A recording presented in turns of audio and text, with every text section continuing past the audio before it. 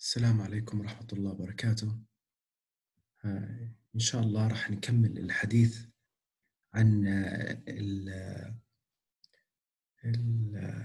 المستقبلات وهم ال receptors.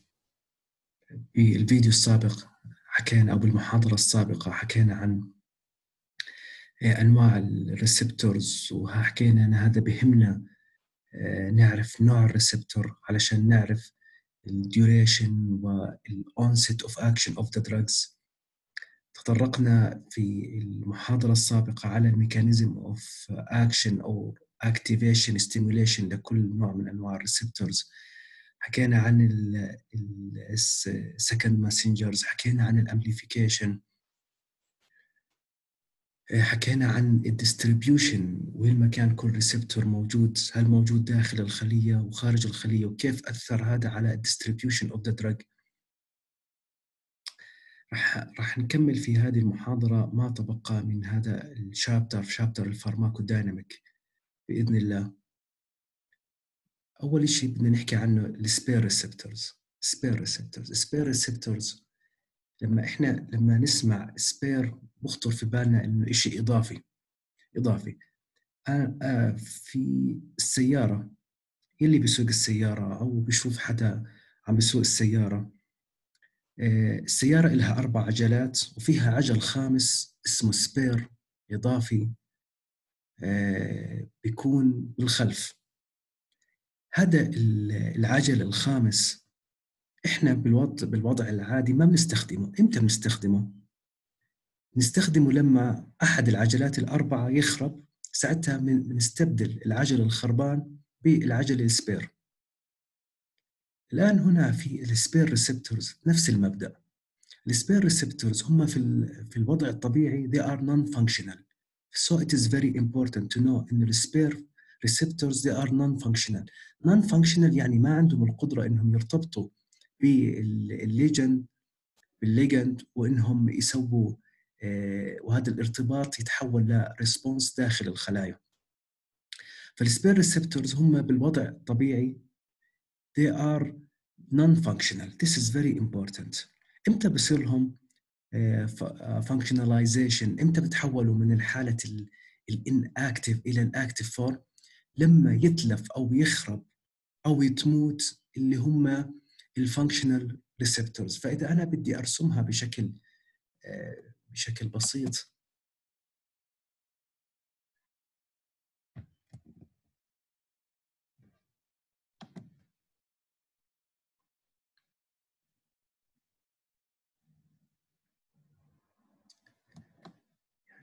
في عندي نحكي ال functional receptor هو اللي عنده القدرة إنه يرتبط في ال ligand ويعطي ال response ال spare receptor في الوضع الطبيعي بيكون non-functional مجازا بدي أغير شكله خليه هيك يعني non-functional فما عنده القدرة إنه يرتبط بال ligand لإنه شكله متغير وما ما بيسوي response لكن في حالة إنه هذا ال functional receptor أتلف ساعتها هذا ال spare receptor راح يتحول ل functional receptor فبالتالي راح يصير عنده القدرة إنه يرتبط يتحول من ال non-functional إلى ال functional okay؟ فبالتالي راح يصير عنده القدرة إنه يرتبط في ال ligand الدواء ويعطيني response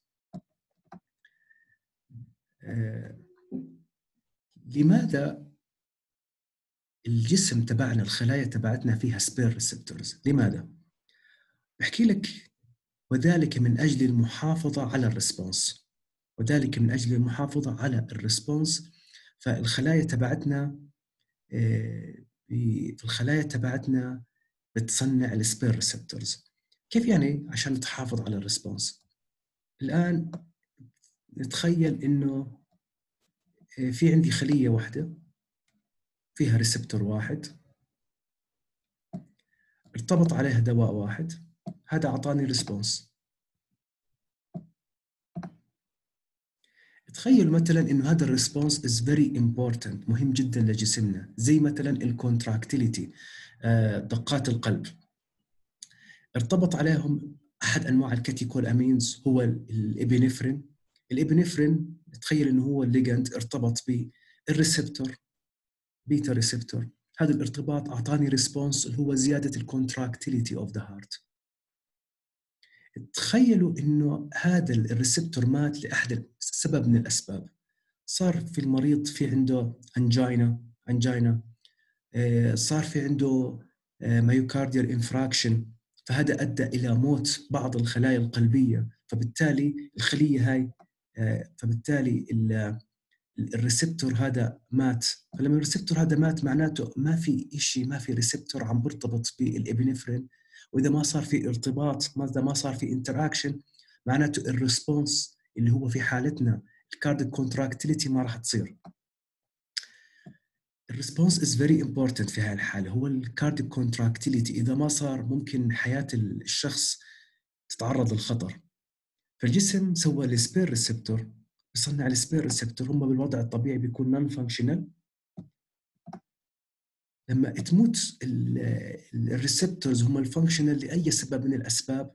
زي زي أمراض القلب مثلا ال angina ال myocardial infarction هذا ال non-functional راح يتحول ل functional فبتكون عنده القدرة إنه يرتبط بال spare receptor عنده القدرة يرتبط بال ligand ويعطيني ويحافظ على ال response فبالتالي وجود ال spare receptor بيضمن إنه ال vital response اللي بصير في جسمنا يضله حتى لو جسمنا تعرض لأذى آه، وماتت بعض الخلايا اللي بتحمل ال functional receptors ففي عندي خلايا وفي عندي spare receptors بيحلوا محل ال functional receptors وبضمنوا إنه ال response ال important response يضلوا في جسمي.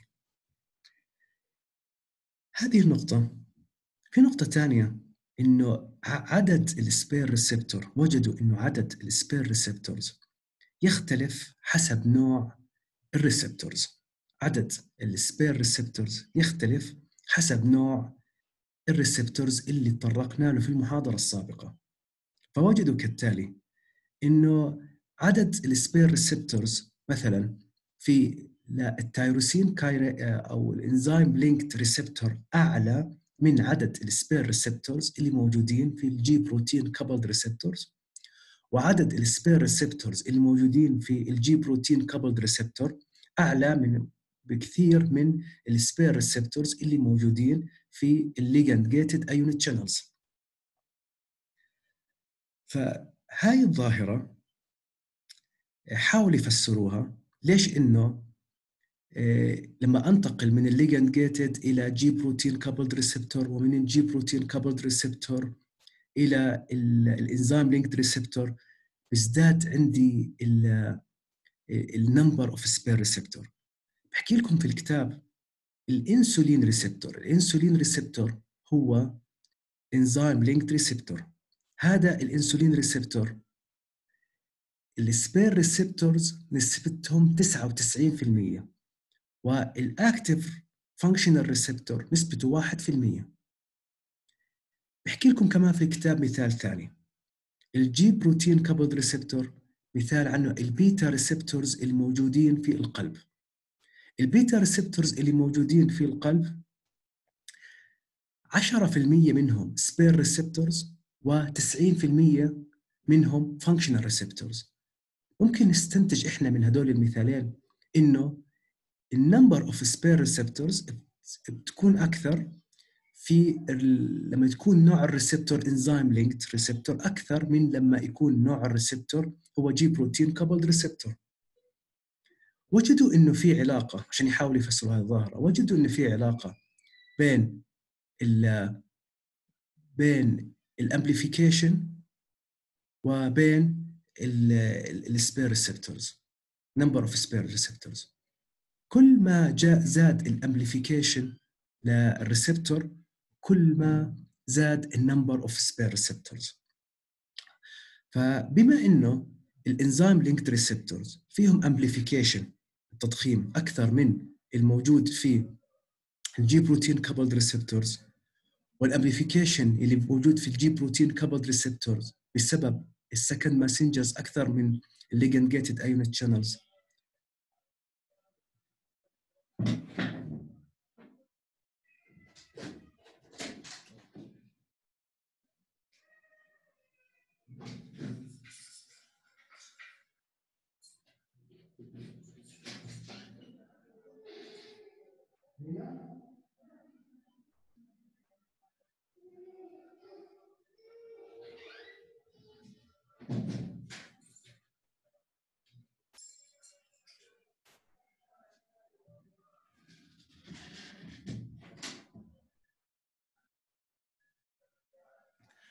مرة أخرى معلش على المقاطعة.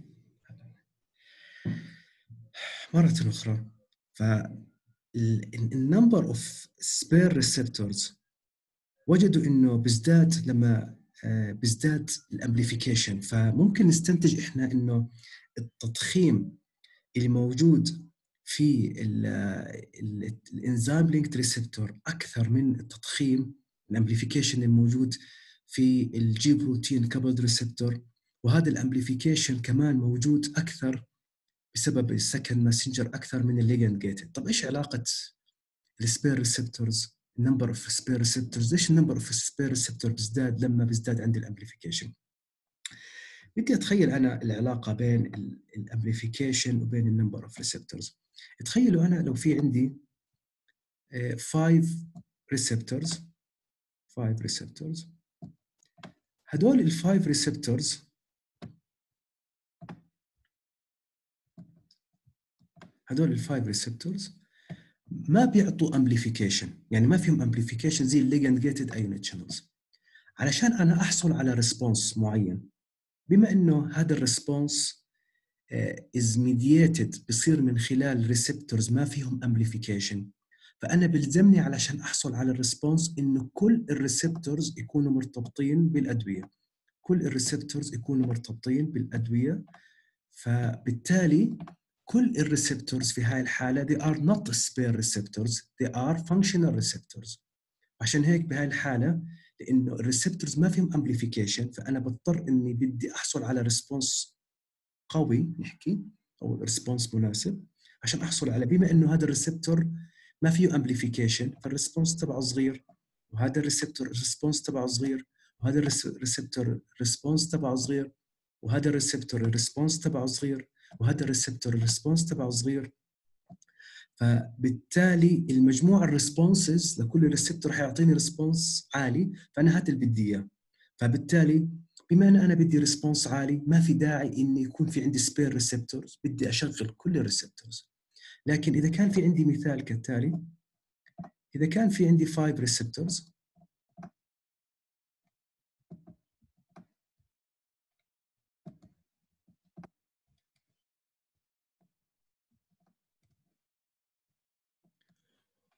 ولأنه هذا ال receptor بيسوي amplification فلما دواء ligand يرتبط ب receptor واحد مثلا لأنه هذا في عندي amplification فال response مش راح تكون صغيرة ال response راح تكون عالية بسبب ال amplification بما إنه one receptor قادر إنه يعطي response عالي فأنا بالعقل بالمنطق ليش أشغل بقية ال receptors فبقية ال receptors بهالحالة الحاله بيكونوا spare إذا هذا ال receptor مات ساعتها ممكن ال spare receptors يحلوا محله.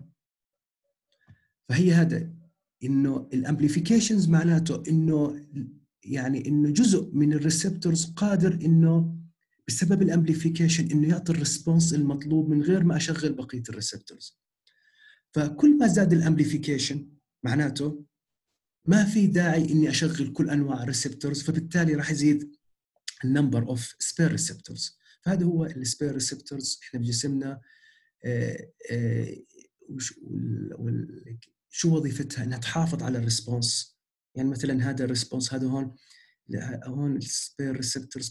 تخيلوا هون هذا المثال ligand مثلا ligand gated إذا هذا ال receptor مات آه مصيبة ال response راح يقل لأنه ما في spare receptors. وهذا كمان مات راح يقل أكثر ال response لأنه ما في spare receptor. لكن تخيلوا في حالة ال enzyme linked هذا مات ما في مشكلة.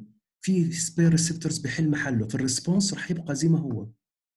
هذا مات مش مشكلة. في عندي spare receptors بحل محله بيرتبط في الدواء فبقلل فبضل ال response زي ما هو.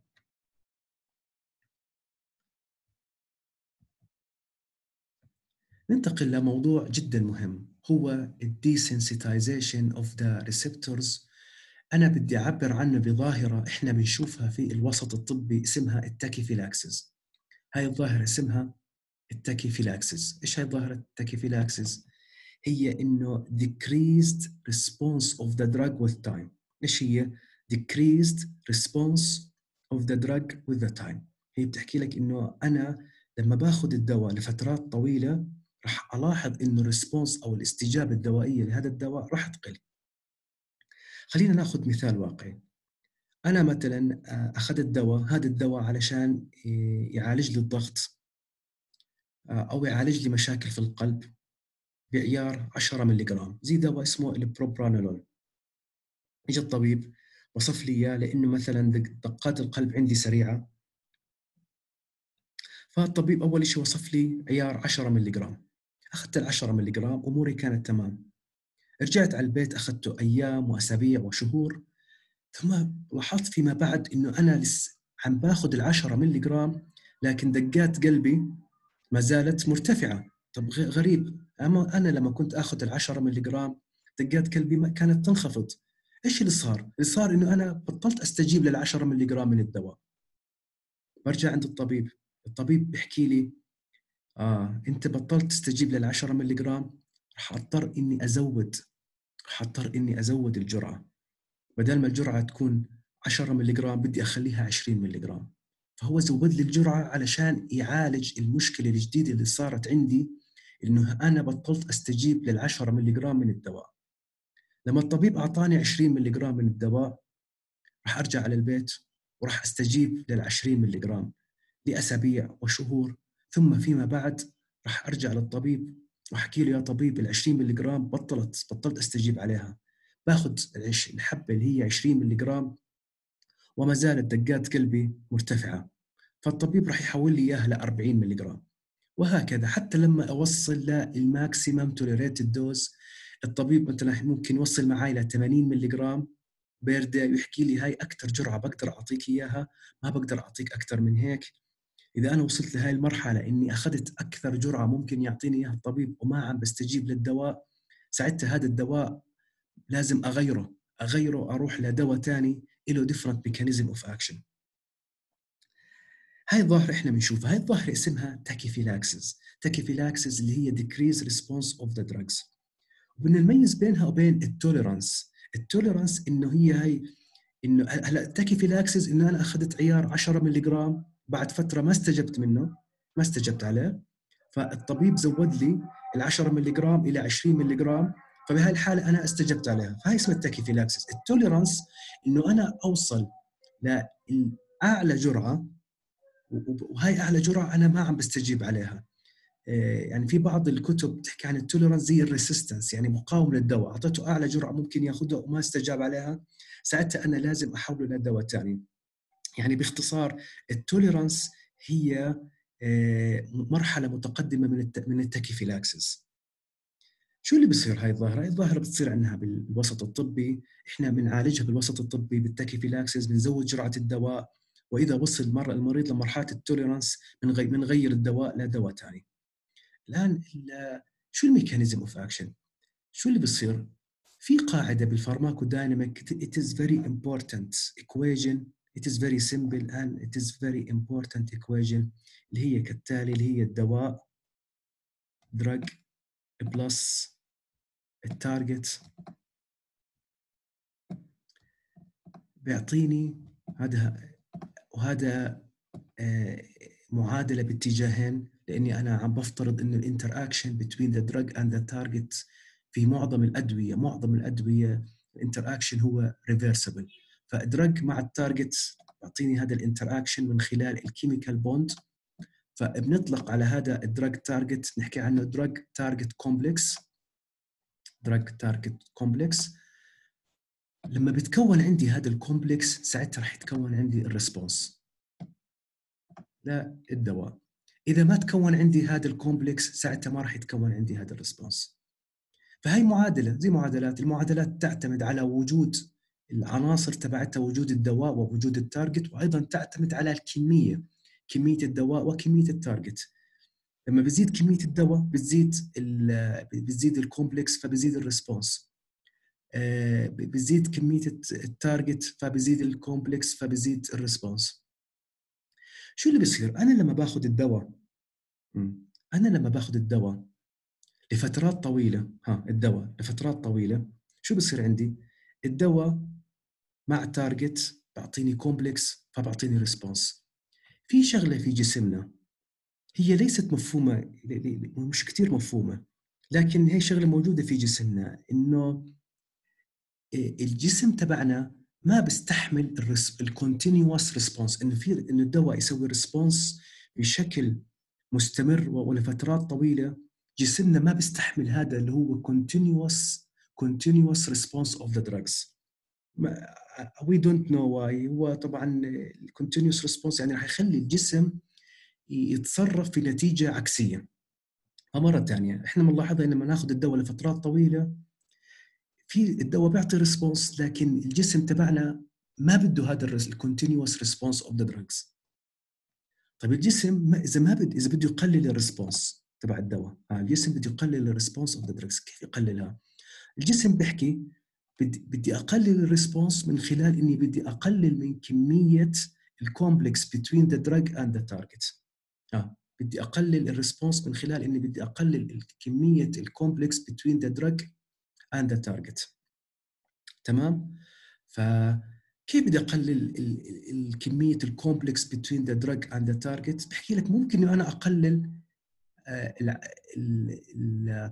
الدواء نفسه بس هاي الشغلة صعبة على الخلية لأنه هاي الشغلة إحنا بنتحكم فيها بالعقل الواعي. يعني أنا بروح على الصيدلية بشتري 5 ملي جرام فببلعها بس الشيء السهل على الخلية إنها تتحكم فيه لأن الخلية اللي بتصنعه هو ال target هو ال receptor. فبتروح شو بتسوي الخليه بتخلي بتنزل بتقلل ال target بتقلل ال number of target فإذا قللت ال number of target فبالتالي راح يقل عندي ال number of complex between the drug and the target فبالتالي راح يقل عندي ال response فهذا اللي إحنا بنشوفه. بنشوف إحنا ليش إحنا بعد فترة بنبطل نستجيب للدواء في أكثر من سبب بس إحنا هون عشان الكتاب أنا بدي أعطيكم إياها it's very simple لما إحنا ناخذ الأدوية لفترات طويلة بجرعة عالية وفترات طويلة okay؟ ال response تبع الدواء جسمنا ما بده يست... ما, ما عم يستحمله فبده يحاول يقلله. كيف يقلله؟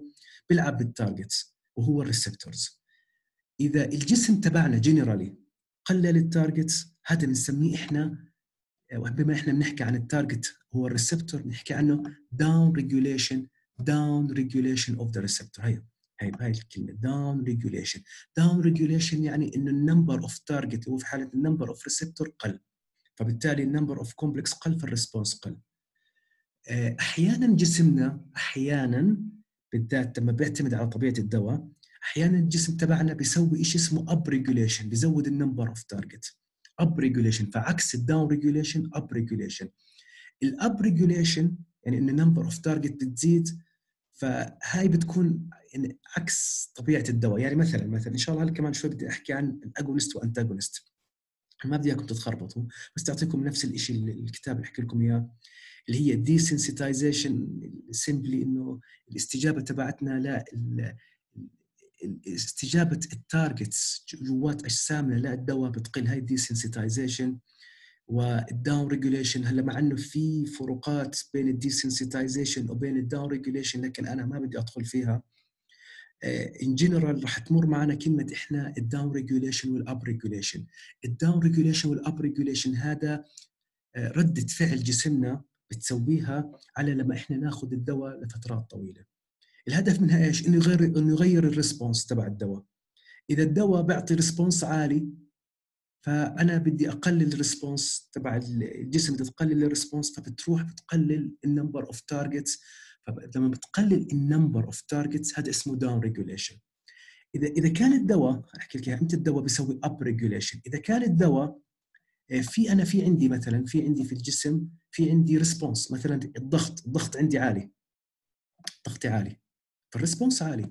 الدواء شو بيسوي؟ أنا باخذ دواء بقلل الضغط. فالدواء فعليا بمنع الضغط. فالدواء لما أنا باخذه بقلل الضغط.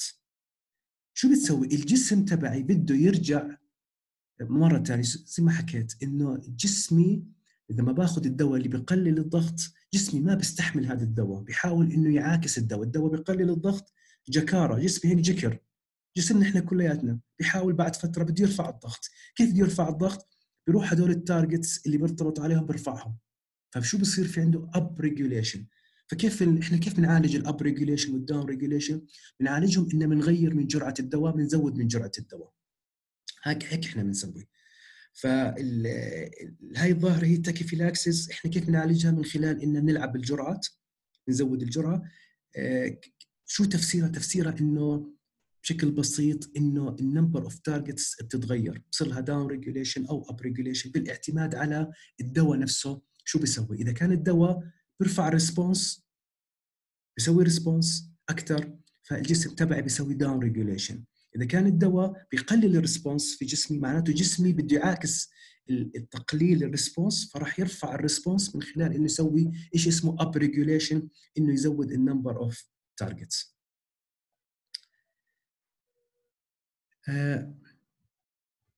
في كالتالي في مصطلحات مهمة لأي دواء بنزل على الصيدلية.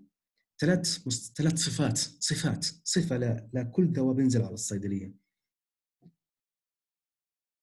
هدول الثلاث صفات اللي بدنا نحكي عنهم لكل دواء بنزل على الصيدلية اللي هو ال potency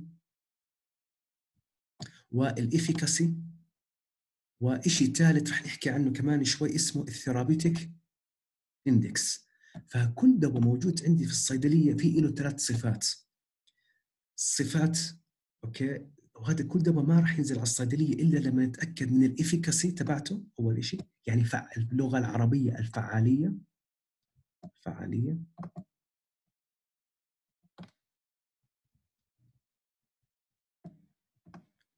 وال potency مش عارف شو بالعربي لكن البوتنسي هو آه، كمية الدواء الفعالة خلينا نحكي كمية الدواء الفعالة كمية فهي كمية الدواء الفعالة. وال therapeutic index هذا صفة تدل على تدل على آه، على على الأمان للدواء أو هي ال safety ال safety أمان الدواء. فهو مقياس ال safety أمان أمان أو هو بحكي لك بشكل غير مباشر على سمية الدواء.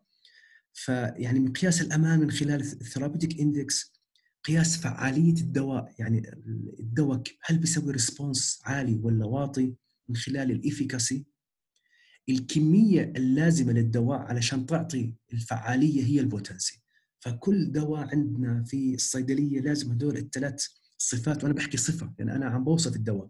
الدواء is effective صفه يعني فعال. الدواء is potent يعني الدواء بكمية بسيطة لما أنا أسمع this drug is potent معناته هذا الدواء بكمية بسيطة أعطاني ال response إيه لما بسمع بقول لك هذا الدواء له narrow therapeutic index هذا الدواء له wide therapeutic index هذا معناته بتدل على ال safety of the drugs هاي صفات. لما أحكي أنا إنه هذا الدواء له wide therapeutic index معناته هذا الدواء آمن. لما أنا أسمع إنه هذا الدواء له narrow therapeutic index معناته هذا الدواء غير آمن. وإذا الدواء غير آمن معناته أنا بحتاج لما أعطيه للمريض إني أراقبه فبحتاج ل monitoring هدول هم الثلاث صفات they are very important. بدنا نحكي عنهم. كيف شو معنات كل واحد فيهم؟ وكيف بنحسبه. كمان في في حسبة لهم فراح نبدأ أول شيء نحكي عن ال efficacy وال potency. الآن في في بحكي لك كيف بدنا نحسبهم.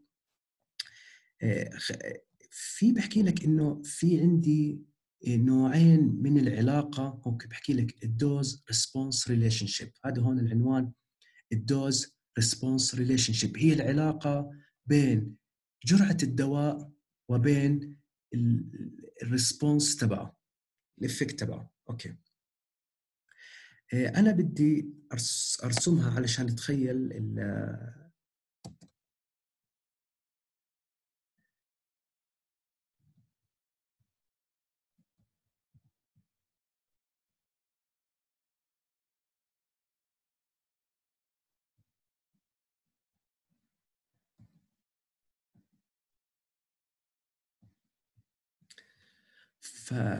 فانا بدي أرسم هاي العلاقة لأن already أصلا هاي العلاقة آه، حكيت عنها قبل شوي.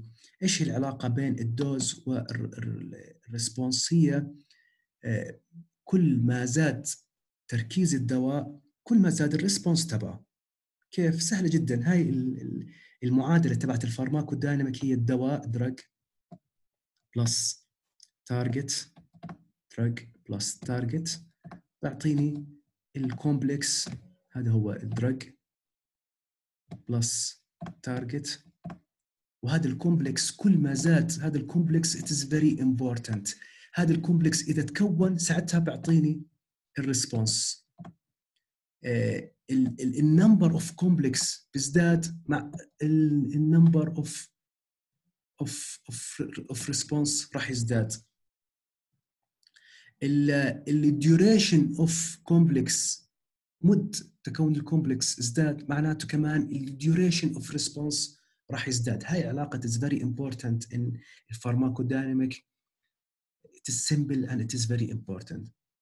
بحكي لك شو العلاقة إحنا كنا dose response curve ال dose كل ما زاد ال dose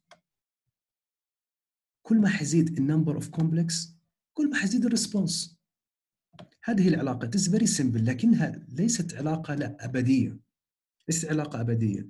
يعني راح أضل أنا أزود الجرعة راح يزيد عندي ال response بعدين راح أوصل لمرحلة إنه أنا لما بزود الجرعة ال response ما عم بيزيد. أيوه. شو هاي؟ وليش صارت هاي؟ خلينا نفسرها. أنا بدي أرسم. هاي عندي خلية. هاي الخلية فيها 3 receptors 3 receptors وبدي أرسم هاي العلاقة اللي بين الدواء الجرعة تبعت الدواء اللي هي ال dose.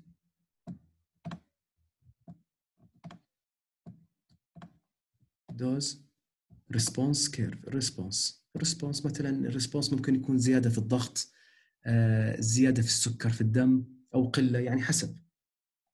هاي العلاقة بيحكوا عنها graded في عندك في عندك الكتاب بحكي لكم في علاقتين graded هي.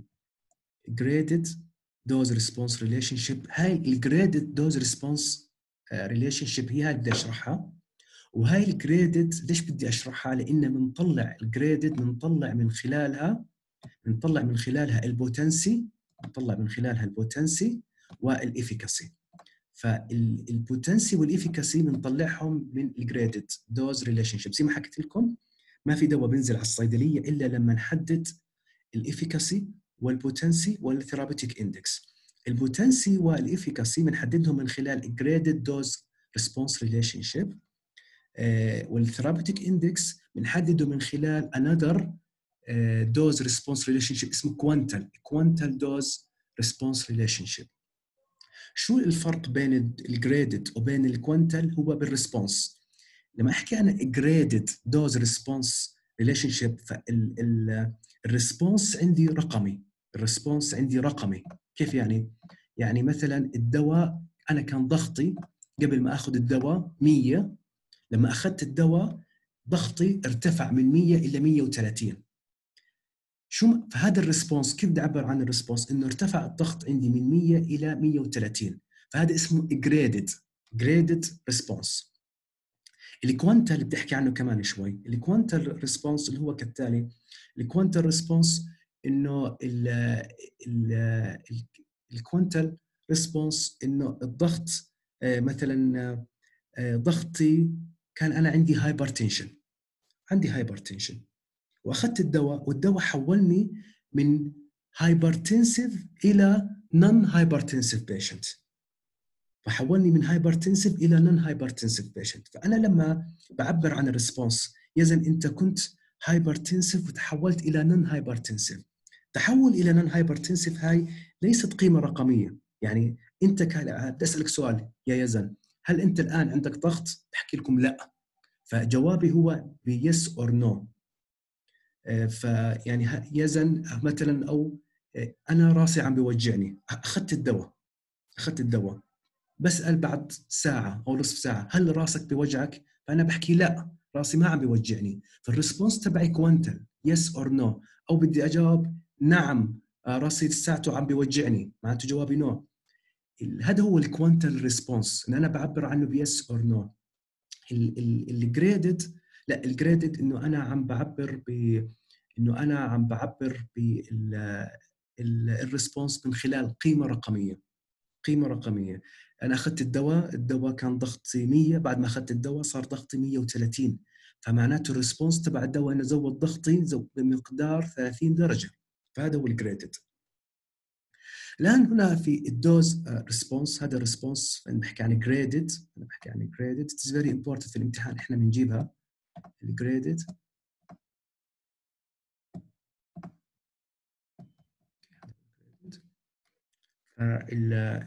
كالتالي هون ال dose خلينا نحكي of drugs 0 1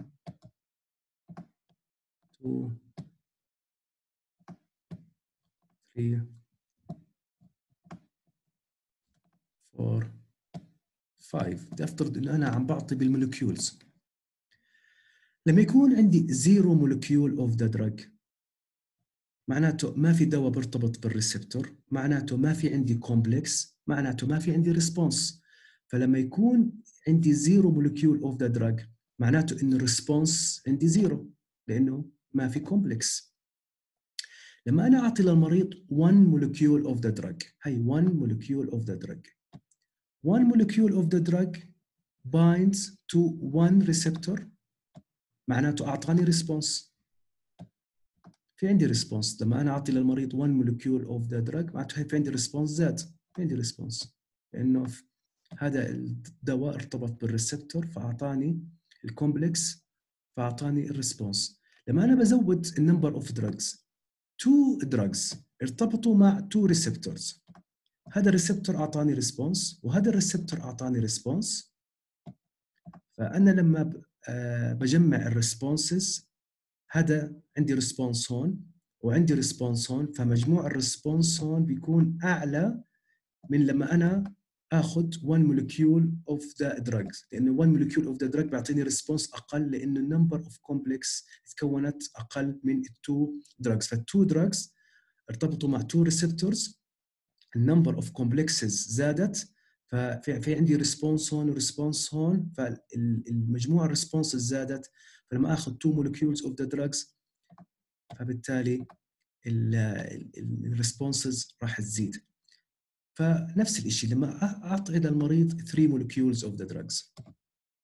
3 molecules of the drugs. هي 3 molecules of the drugs. فبالتالي هدول 3 molecules of the drugs راح يرتبطوا مع 3 receptors. كل receptor كل complex راح يعطيني response فبالتالي مجموع ال responses هنا لما أنا أعطيت للمريض 3 molecules of the drugs آه، أعلى من ال responses لما أنا أعطي للمريض دوايين أو أعلى من لما أنا أعطي للمريض دواء واحد. فبالتالي لما أنا أعطي للمريض 3 molecules of the drugs راح ألاحظ انه ال response زاد أكثر. هنا العلاقة linear مستقيمة وعلاقة طردية. كل ما زادت الجرعة دواء يزيد ال response of the drug وهذا هو إحنا اللي بنشوفه في جسم المريض. كل ما بزود الجرعة تبعت الدواء كل ما الاستجابة للدوائية ال response راح تزيد. راح أوصل بعدين لمرحلة. مرحلة جديدة. شو المرحلة الجديدة؟ إنه أنا مثلا بدأت أعطي للمريض 4 molecules of the drugs. 4 molecules. 4 molecules of the drugs في المقابل إنه أنا في عندي 3 receptors آه شو اللي صار عندنا عندي هنا صار عندي إنه ال number of drugs أعلى من ال number of receptors شوف صار في عندي ال number of drug أعلى من ال number of receptors فاللي صار عندي إنه أنا من هدول الأربعة بس ثلاثة ارتبطوا بال receptors وأعطوني response الرابع هذا ما ارتبط بال receptor وما أعطاني response بما إنه هذا الرابع ما ارتبط بال receptor فما أعطاني complex فما أعطاني response فأنا فعليا لما بعطي للمريض 4 molecules of the drugs فعليا فقط ثلاثة اللي أعطوني response والرابع ما أعطاني. فراح ألاحظ كالتالي إنه ال response عند لما تكون 4 molecules of the drugs نفس ال response لما يكون 3 molecules of the drugs لأنه بال four molecules بس ثلاثة ارتبطوا والرابع ما ارتبط. وال response بيعتمد على ال number of complexes ولما أزود الجرعة ل ال 5 molecules of the drugs 5 molecules of the drugs راح ألاحظ نفس الشيء في عندي 5 molecules of the drugs في المقابل عندي فقط 3 receptors. فبالتالي راح يصير في عندي إنه 3 receptors راح يرتبطوا مع 3 drugs راح يعطوني 3 complexes فراح يعطوني response وهدول ال two drugs الحزينين المساكين ما لهم receptors يرتبطوا فيهم. فما راح يعطوني هدول ال two drugs ما راح يعطوني complexes فبالتالي ما راح يعطوني response فلما أنا أعطي للمريض 5 molecules ال response اللي راح يصير عنده بسبب هدول الثلاثة. فحصير يعطيني response زيه زي ال 3 molecules فراح يصير في عندي هون خط ثاني هون في عندي آه، في البداية كان في عندي linear relationship وعلاقة عكسية. هنا إيش صار؟ صار عندي كل ما بزود جرعة الدواء ال response ضله ثابت. ال response ضله ثابت. معناته أنا مهما زودت من كمية الدواء ال response ما راح يزيد. آه ال response ما راح يزيد. هاي هذا ال response هي بسموها ال maximum response. هاي أو أو ال effect ما بحكي عن الكتاب ال maximum effect. maximum effect يعني هذا أكثر response max effect. هذا أكثر response راح أحصل عليه. مهما زودت من جرعة الدواء ما راح أحصل على هذا ال response. ممكن نسأل حالنا مين اللي حدد ال maximum effect of the drug اللي يحدد ال maximum effect of the drug راح نلاحظ إنه عامل المهم اللي يحدد ال maximum effect of the drug هو ال number of receptors ال number of targets في في هاي المرحلة وصلت أنا لمرحلة بسموها ال saturation شو معنى ال saturation إنه كل ال targets تشبعوا. وهون كل ما أنا بزود ال number of drugs ال receptors تشبعوا وبقية الدواء ما راح يعطي response فهي المرحلة بيحكوا عنها ال saturation إنه ال targets تتشبع. وهنا لما بسقط على ال y axis بيعطي عندي ال maximum هو صح ال y axis هو ال response فلما بسقط عليه إنه هم بعطيني ال maximum response ال maximum response يعني مثلا دواء برفع الضغط. وصل عندي لعند 200 معناته إنه أنا مهما زودت الدواء الضغط المريض ما راح يرتفع فوق ال 200 فهذا شو بحكي عنه؟ ال maximum effects of the drug يعني أكثر شيء الدواء ممكن يسويه إنه يرفع ضغط المريض ل 200 درجة ل 200 درجة.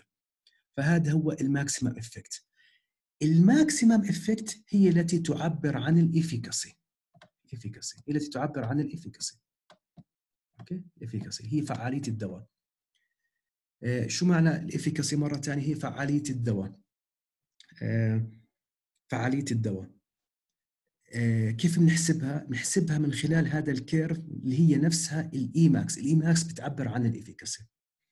طيب هاي من خلال الحسابات خلينا نفهمها أكثر. دواء A drug ودواء B. دواء A هاي ال Emax تبعه.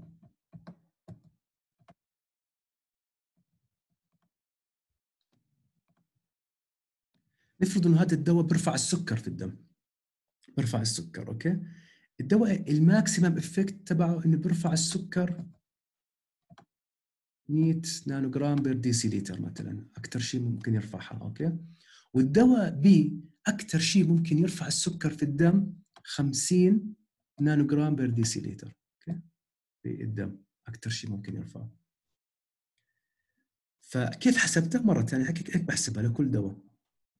بحسبها هيك بحط ال dose تبع الدواء بحط ال response هو مثلا في حالتنا هنا ارتفاع السكر في الدم وبسوي هاي بضلي بزود ال dose حتى لما يصير في عندي يصير عندي خط هذا الخط مستقيم إنه أنا لما بزود الجرعة ما راح يزداد عندي ال response بعدين بسوي إقطاع يعني بقطع بالاكس والواي اكسس فهي هي ال Emax هي حسبتهم. الآن السؤال هنا مين اللي فيهم ال more effective مين اللي فعالية تبعته؟ ال response تبعته أعلى؟ مين اللي عنده قدرة إنه يرفع السكر عندي أكثر؟ هل الدواء A والدواء B هلأ في المنطق من خلال فهمنا الدواء A الدواء A رفع السكر 100 يعني 100 nanogram per deciliter. الدواء B رفع السكر 50 nanogram per deciliter. معنى كيف حسبته من خلال ال Emax فشو بحكي؟ إنه الدواء A is more effective. فالدواء A is more effective than drug B. drug A is more effective than drug B. هلا إذا بدي أرسم drug A و drug B هنا drug A رفع مثلا هون 100 okay؟ drug B برفع ل 50 فهيك حتكون شكل الرسمة تبعت drug B هيك حتكون هيك. هيك ارتفع بعدين هيك صار. فإحنا إذا إجانا آه، هيك بال curves بالامتحان drug A و drug B وانطلب منا إن نقارن مين اللي فيهم more effective هل drug A و drug B مرة ثانية شو اللي بعبر عن ال efficacy ال Emax وال Emax كيف أسويها؟ بروح عند البلاتو من عند البلاتو هاي ال saturation بسقط على ال y axis وبشوف مين اللي فيهم بعدين بشوف القيمة الرقمية مين اللي فيهم ال Emax تبعه أعلى؟ A ال Emax تبعته أعلى معناته A هو ال more effective فكل ما زادت ال Emax كل ما زادت ال efficacy of the drugs هذا أول شيء بدنا نعرفه عن الفعالية اللي هي ال efficacy بدنا ننتقل لل potency ال potency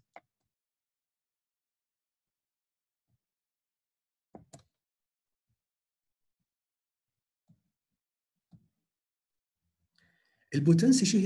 ال potency هي كمية الدواء الفعالة. كمية الدواء الفعالة. خلينا نرجع لهذا المثال تبعنا اللي حكينا عنه هذا الدواء. هذا الدواء اللي okay رفع هيك الدواء هذا ال dose. لساتي أنا عم بحكي عن ال graded dose response curve هذا ال dose. وهذا اللي هو اللي هذا ال dose وهذا هو اللي ال response ال dose وال response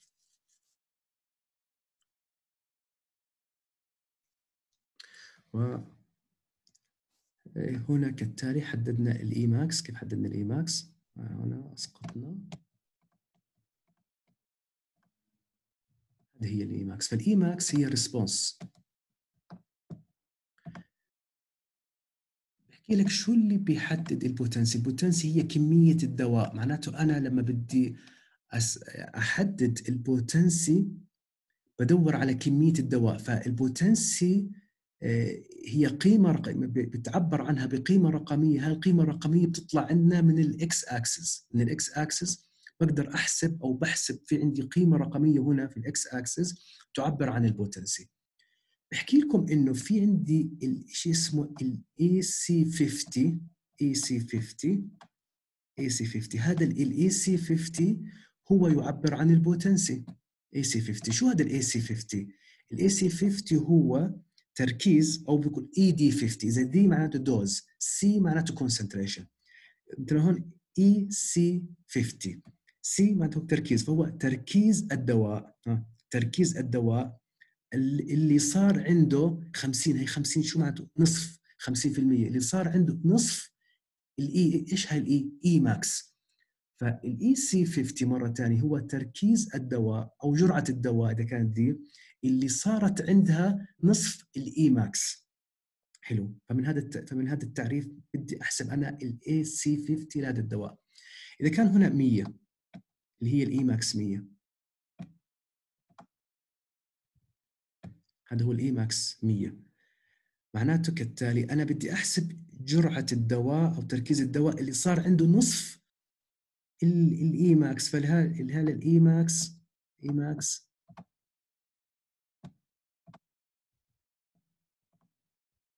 مية.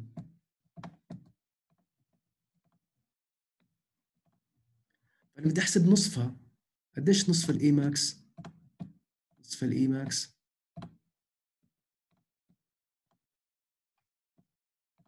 خمسين. نصف ال Emax خمسين.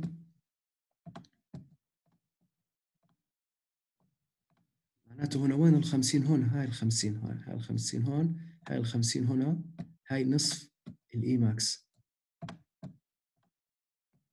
طيب وبعدين؟ خلصت؟ لا لسه ما خلصت. هاي ما خلصت. هلا تركيز أو جرعة الدواء اللي بتصير عندها نصف ال Emax فأنا بدي القيمة الرقمية اللي بتعبر عن بصير عندها نصف ال Emax فباخذ من هنا بسقط بروح عند هذا عند ال curve وبعدين من هنا بسقط على الاكس أكسس. هاي شو هاي؟ هاي هي ال dose جرعة الدواء اللي صارت عند نصف ال Emax ها هي إيش هي؟ الاي سي 50 الاي سي هاي هي الاي سي 50 فها هي جرعة الدواء اللي صارت عندها أو تركيز الدواء اللي صار عنده نصف ال Emax افرضوا مثلا إنه هذا zero صفر هنا واحد.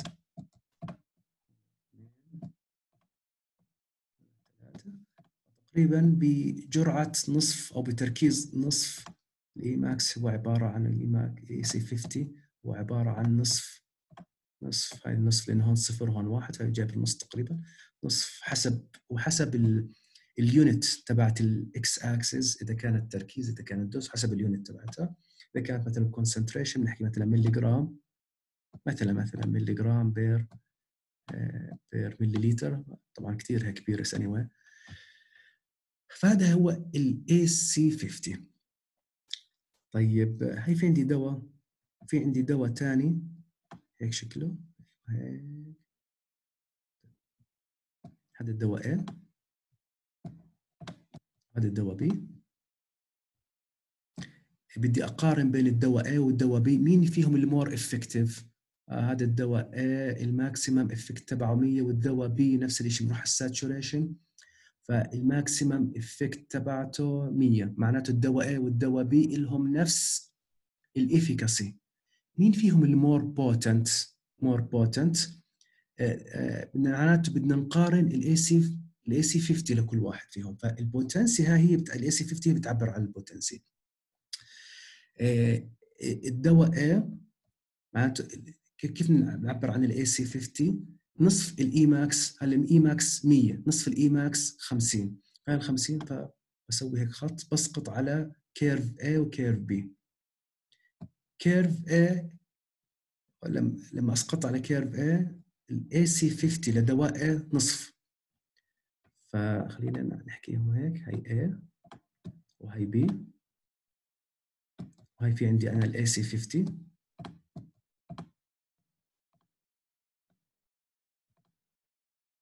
ال EC50 لدواء A نحكي نصف.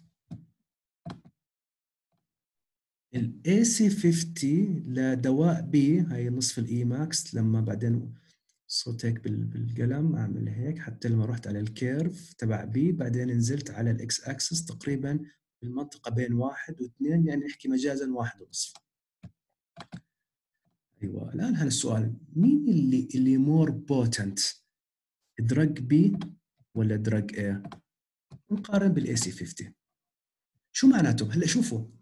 ال drug A أعطاني رفع لي السكر رفع لي السكر أو رفع لي الضغط. 100 وحدة لما أعطيته بجرعة نصف ملي جرام per ملي لتر بينما ال drug B رفع لي السكر أو رفع لي الضغط 100 وحدة لما أعطيته بجرعة أكبر بجرعة 1.5 ملي جرام يعني الدواء أنا احتجت لجرعة أصغر عشان أحصل على ال response ال drug B صحيح إنه أنا حصلت على ال response لكن حصلت على ال response بجرعات أكثر. هذا بذكرني بمثال اثنين راح يشتروا بيت اثنين بدهم يشتروا نفس نفس البيت غرفتين نوم وحمام ومطبخ. واحد اشترى البيت ب ألف دينار والثاني اشترى البيت ب ألف دينار يعني نفس البيت واحد اشتراه ب 70 والثاني اشتراه ب 50 هلا هم الاثنين effective ليش؟ هم الاثنين عندهم شقق. هم الاثنين عندهم نفس الشقه غرفتين نوم وحمام ومطبخ. بيقدروا يكونوا حياتهم يعيشوا فيها. مين اللي فيهم ال more potent؟ ال more potent مين فيهم اللي اشطر؟ الأشطر اللي اشترى الشقة بسعر أقل. في ال more potent اللي هو اللي الأشطر اللي اشترى الشقة ب ألف راح يضحك على راح يصير يضحك عليه يحكي له أنا أشطر منك. أنا اشتريت الشقة ب ألف أنت اشتريتها ب ألف أنت دفعت فلوس أكثر عشان تشتريها. فال more potent هو يلي يلي بكمية أقل من الدواء أعطانا ال effect. فهاي ال more potent اللي هو ال EC 50 تبعته أقل. فهي القاعدة كل ما قلت ال EC 50 للدواء كل ما قلت ال EC 50 للدواء كل ما كان الدواء more potent كل ما كان الدواء more potent كل ما كان الدواء more potent الآن أنا ليش بهمني الدواء يكون more potent؟ كان واحد بيحكي طيب شو فيها؟ طب بعطي لما هو أنا بدي أرفع الضغط آه، أو بدي أرفع السكر 100 وحدة، أعطيته نصف ملي جرام per ملي لتر من الدواء A ولا أعطيته 1.5 ملي جرام per per ملي جرام per ملي لتر من الدواء B أنا حققت نفس النتيجة صح؟ بالنهاية المريض ارتفع عنده الضغط وعشان هيك أنا لما. لما باجي بدي أعالج المريض أول شيء بطلع على ال efficacy بهمني ال efficacy بس إذا كانوا دوايين عندهم نفس ال efficacy إذا كانوا دوايين عندهم نفس ال efficacy بعدين بفكر مين فيهم ال more potent مين فيهم اللي بيعطي ال response بجرعة أقل؟ طب ليش أنا هيك بفكر؟ ليش أنا بهمني الدواء يكون potent يعني أول شيء بتطلع على ال efficacy بعدين بتطلع على ال potency ليش أنا بتهمني يكون الدواء more potent لأنه بحكي لك الدواء ال more potent بعطيه بجرعات أقل.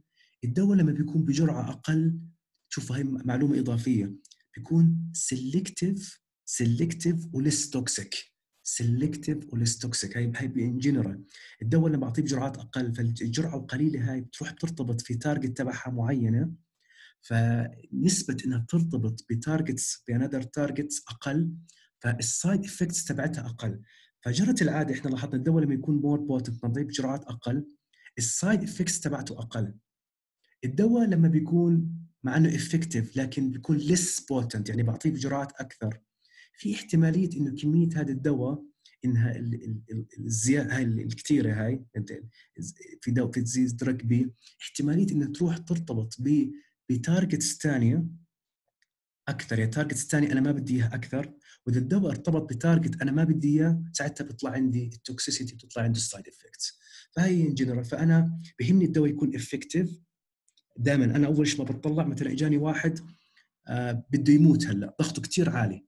وعندي دوايين دواء A بنزل الضغط من 200 ل 100 ودواء B بنزل الضغط من 200 ل ل ل ل 170 مين اختار drug A و drug B؟ أنا أول شيء بتطلع بال efficacy لأن المريض بده يموت بتطلع على حالته. أما إذا كان في عندي دوايين A و B هم الاثنين بينزلوا الضغط من 200 ل 100 لكن A is more potent ساعتها بستخدم الدواء ال more potent لأنه generally الدواء ال more potent كميته أقل احتمالية حدوث ال side effects تبعته أقل. هذا بالنسبة لل potency. هون ال intrinsic اللي هذه ال efficacy حكينا عنها ال affinity.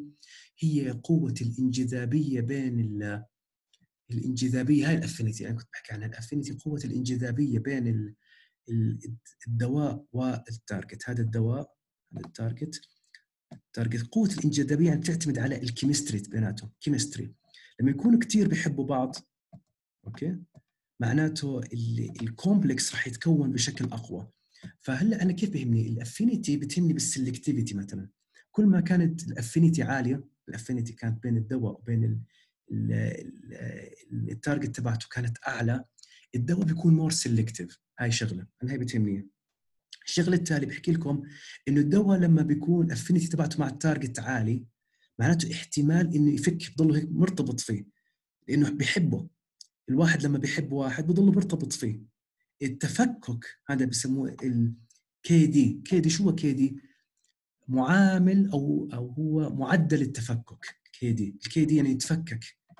أو يسموه KD نسبة إلى constant of dissociation. هو معامل التفكك عنده آه، بيكون قليل. لأنهم بيحبوا بعض فمعامل التفكك بيكون قليل. لما لما يتفكك معناته كل ما هم بيحب كل ما كان الدواء له higher affinity معناته بيحب ال target تبعه أكثر معناته هذا ال complex عم بيتكون بشكل أقوى معناته هذا بيأثر على ال response فمعناته انه ال response بتكون أعلى. وطول ما الفترة الزمنية هدول الدوايين اللي هم مرتبطين مع بعض كمان ال duration of the response بيزيد. لكن أنا بهمني إنه كل ما كانت ال affinity بين الدوايين بتكون عالية فال response بيكون عالي وكمان ال dissociation constant معامل التفكك كمان بقل. فهذا بيأثر على ال response إنه إنه كل ما زادت عندي ال affinity ال response تبعي بيكون أكثر بتكون الدواء more selective أنا بتهمني أكثر بيكون دواء بيكون more selective وأيضا بيكون معدل التفكك تبعه أقل. إذا كان معدل تبع التفكك أقل معناته هذا هذا هو اللي أدى إنه ال response تبع الدواء بيكون عالي. هل هاي شغلة ال agonist و antagonist بدي أخليها هيك بفيديو لحاله؟ هي شغلة سهلة. بس بدي أحكي هنا عن ال quantal ال quantal صح إحنا حكينا إنه مرة ثانية إنه في عندي ثلاث صفات لكل دواء بدي أحددهم. حكينا ال efficacy وال potency نحددهم من خلال ال graded dose response curve بضل عندي ال therapeutic index هذا بحدده من خلال الكوانتل الكوانتل دوز ريسبونس الكوانتل الريسبونس تبع المريض يا yes يا no أعطيت الدواء للمريض. راسك طاب ولا ما طاب؟ آه نعم. تم تسكين الوجع في في في راسي. معناته الجواب yes معناته هذا quantal آه هذا ال therapeutic index هذا هذا قيمة رقمية. ال therapeutic index هو قيمه رقمية وهو ratio ratio ratio يعني في بسط ومقام. ratio فال therapeutic index هو عبارة عن ratio. البسط هو عبارة عن ال toxic أو ال toxic dose toxic dose 50 والمقام عبارة عن effective dose effective dose 50 إيه شو معنى toxic dose 50 و effective dose 50 معناته كالتالي أنا في عندي دواء زي الباراسيتامول اللي هو الريفانين اللي هو نفسه البنادول. دخلت أنا على الصف الصف فيه إحنا صفنا فيه مثلا 40 واحد 40 واحد. نحكي إنه هاي مجموعة. شو هي ال toxic dose 50 خلينا نبلش بال effective dose 50 هلا أول شيء خذوها قاعدة. لازم كل دواء يكون موجود في الصيدلية خذوها قاعدة. ما في دواء بينزل على الصيدلية إلا يكون ال toxic dose 50 أعلى من ال effective dose 50 إذا الدواء ال toxic dose 50 أقل أو مساوي لل effective dose 50 فهذا بطل دواء صار عبارة عن toxic compounds فما في داعي نعطيه للمريض. فهذا الدواء ما بنزل على الصيدلية بضلوا بالمختبرات بالمصانع لكن ما بضلوا بالمختبرات لكن ما بنزل على الصيدلية.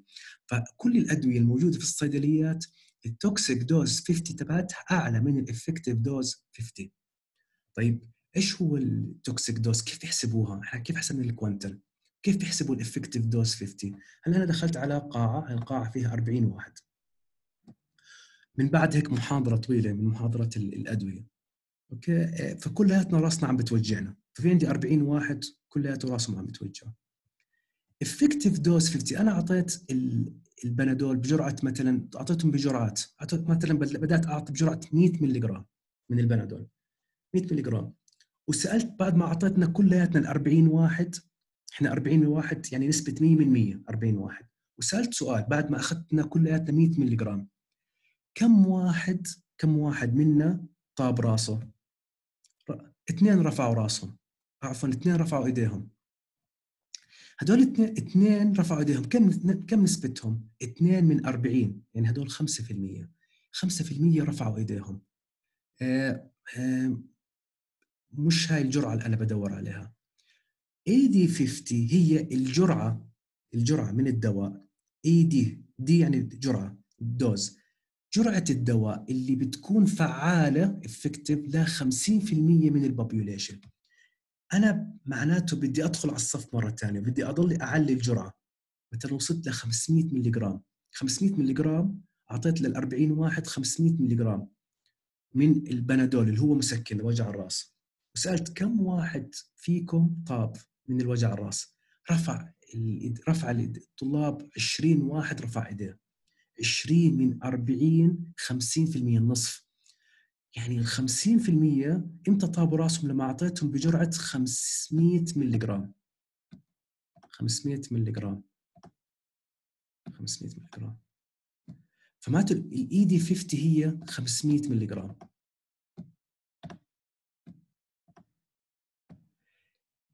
خمسمية ملغ التي دي 50 شو هي ال TD 50 هي الجرعة الجرعة السامة لنصف المجتمع. D الجرعة T T نسبة إلى toxic الجرعة السامة ل 50% من المجتمع. نفس الشيء إحنا في الصف إحنا 40 واحد. البنادول معروف إنه سام للكبد تبعنا. بسوي توكسيسيتي للكبد تبعنا. بعطي الجرعة بضل أعلي الجرعة. وبسأل السؤال كم واحد فينا ارتفعت إنزيمات الكبد تبعته وكان سام؟ ب 500 ملي جرام بس اثنين رفعوا ايديهم اثنين من من من 40 5% لا مش هاي الجرعة السامة؟ بضلي أرفع بجرعة البنادول. إحكوا مثلا وصلت ل مثلا 4000 4000 ملي جرام وهي شوف لازم الدواء اللي يكون في الصيدلية ال TD 50 الجرعة السامة تبعته أعلى وباضعاف يعني يفضل كل ما كانت أعلى كل ما كانت أحسن. ملي جرام من الباراسيتامول أعطيتهم وهاي الجرعة 4000 ملي جرام لما دخلت فيهم على الصف وجدت إنه 20 من 40 يعني نصف المجتمع نصف الصف ارتفعت إنزيمات الكبد تبعتهم وصارت عندهم سمية في ال liver فهاي الجرعة هي 4000 ملي جرام 4000 ملي جرام هي هاي الجرعة اللي سببت السمية ال hepatotoxicity ل 50% من هذا المجتمع الصغير. طيب هلأ كيف بدي أحسب ال therapeutic index؟ بما إنه البسط والمقام عبارة عن ملي جرام معناته الملي جرام بتروح مع الملي جرام فهاي هي إنه ال therapeutic index ليس لديها وحدة ما لها unit فال therapeutic index عبارة عن 4000 تقسيم 500 اللي هي عبارة عن 8 ال therapeutic index مثلا لدواء therapeutic index TI يعني اختصار ل therapeutic index لهذا الدواء عبارة عن أربعة. شو معنى أربعة؟ معناته أنا بدي لا 8 عفوا حكيت 8 لا 8 8 4000 تقسيم 500 8 شو معنى 8 8 معناته لما أسمع ان الدواء ال therapeutic index تبعته 8 معناته أنا بدي أضاعف الجرعة العلاجية أضاعف الجرعة العلاجية ثمان مرات حتى يحصل المريض يصير عند المريض toxicity طيب دواء ثاني ال toxic index تبعه 2 زي الدواء اسمه ال digoxin. therapeutic index تبعته 2 شو معناته 2 معناته أنا لو ضاعفت الجرعة العلاجية لو ضاعفتها بس خليت ضعف يعني ال double راح تظهر عند المريض السمية. أيوه معناته إحنا شو حكينا في أول المحاضرة؟ ال therapeutic index هذا معيار للأمان. مين اللي فيهم أكثر امانا على المريض؟ الدواء ال therapeutic index تبعه 8 كرقم كبير ولا الدواء ال therapeutic index تبعه ال therapeutic ال index تبعه اثنين وهذا الدواء ال therapeutic index تبعته آه، قليلة.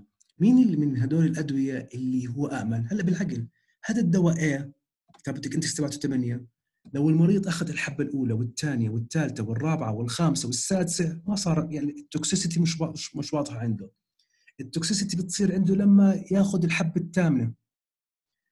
آه، الدواء B افرض المريض راح أخذ حبة بعدين نسي عنده ألزهايمر نسيان راح أخذ الحبة الثانية. لأنه ضاعف الجرعة راح يصير في عنده مشاكل سمية.